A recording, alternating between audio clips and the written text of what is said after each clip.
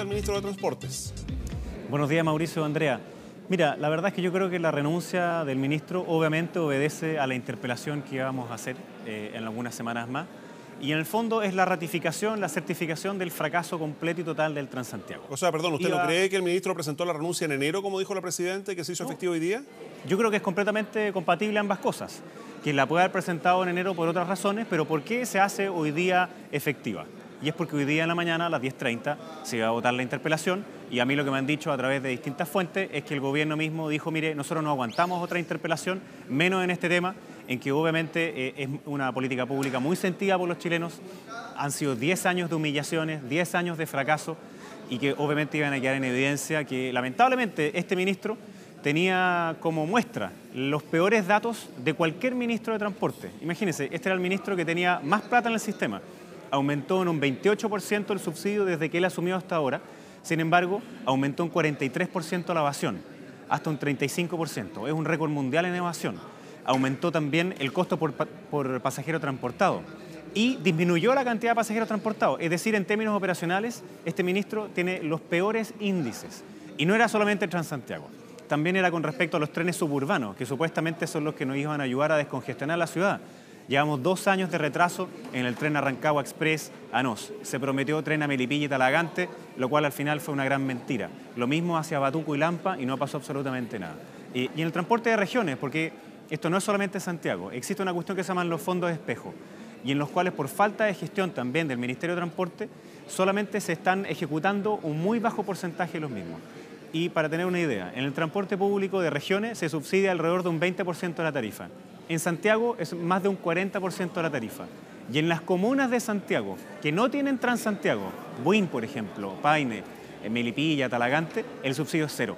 Esas personas, por vivir a solo metros de otras, eh, tienen que gastar muchas veces tres veces más que las que sí tienen. Entonces, queríamos hablar sobre el transporte público. Obviamente, eh, siento que el ministro no quiso que se expusiera todo esto y entonces renunció.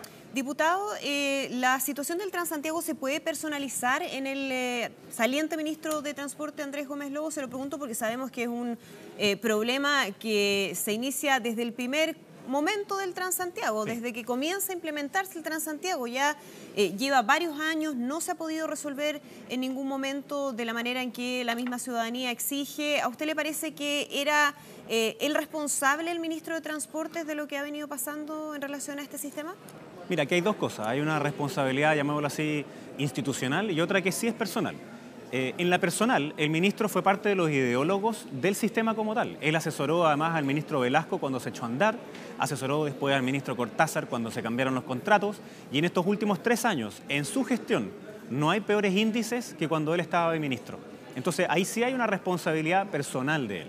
En cuanto ¿por qué no cambió ninguno de estos ítems, ninguno de estos índices? ¿Por qué las bases de licitación, que ya están atrasadas y no han sido enviadas a Contraloría, en ninguna parte aparecía que, por ejemplo, eh, la evasión era una, cuestión relevante? ¿Por qué no se ha hecho la gestión en cuanto a los trenes suburbanos? O sea, ahí hay una cuestión que sí es, obviamente, personal de él como ministro de Transporte.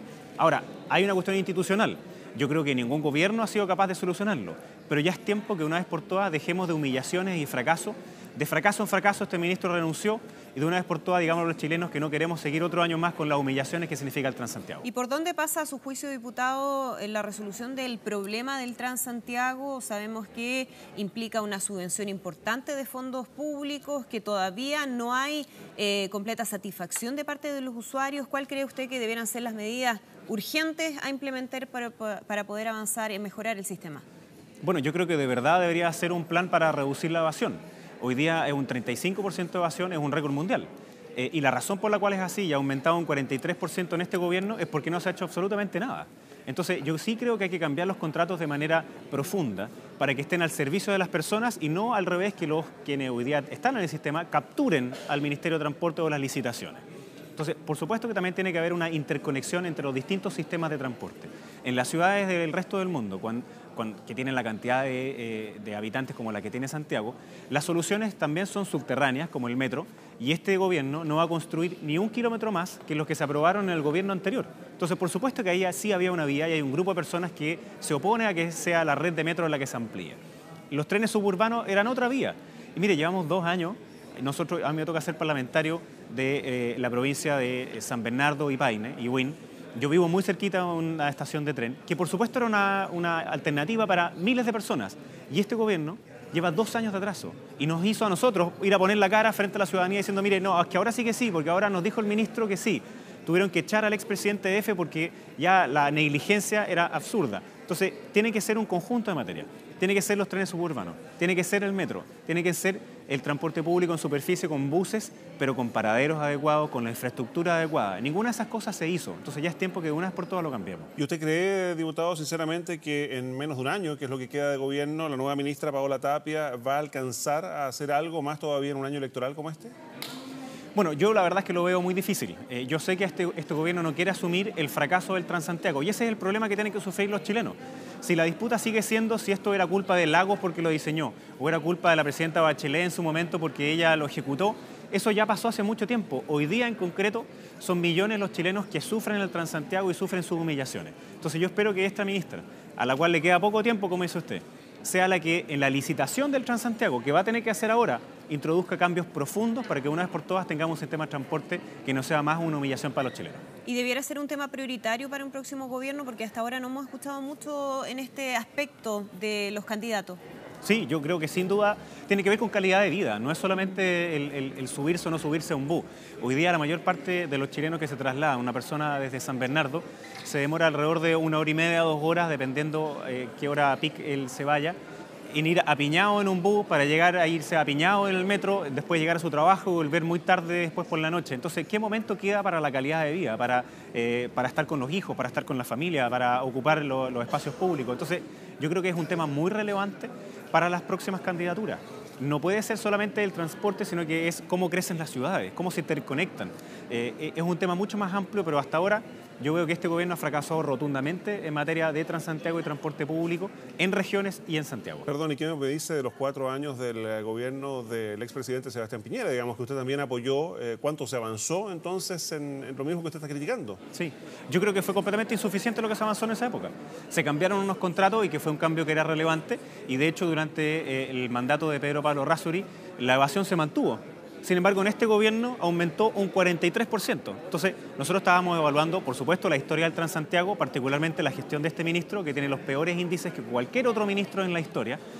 Eh, pero yo creo que sí fue insuficiente lo que se hizo antes. Un cambio en los contratos que se hizo es que antes era 70% de los ingresos para los transportistas eran fijos y un 30% variable por cada pasajero transportado.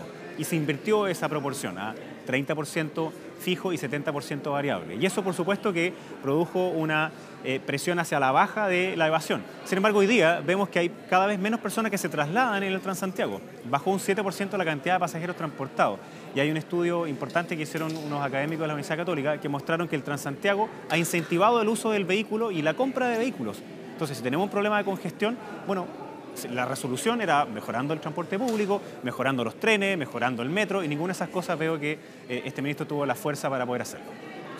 Muy bien, diputado Jaime Belolio, gracias por acompañarnos esta mañana.